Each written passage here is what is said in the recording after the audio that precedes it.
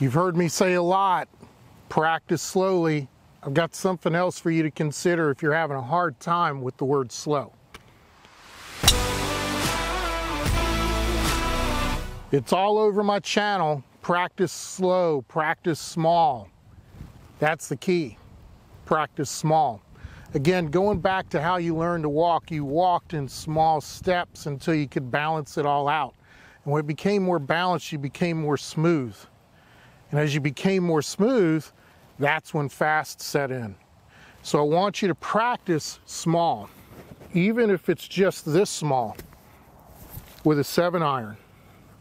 If it's this small with a seven iron and you can hit it straight and then you get really smooth with it, as you get smoother, you're going to get a little bigger and it's going to go a little further. And at some point, you're going to swing and it's going to be so smooth, you don't realize that you're going faster. Slow, nah. It's small to smooth, smooth to fast. And if you've got questions about that, leave them below. More than happy to get back to you as quickly as I can with any of them. Click the logo, ring the bell, you'll get notified every time I put new material on the channel. Most importantly, come back often. Want to help you, small to smooth, smooth to fast, improve your golf skills.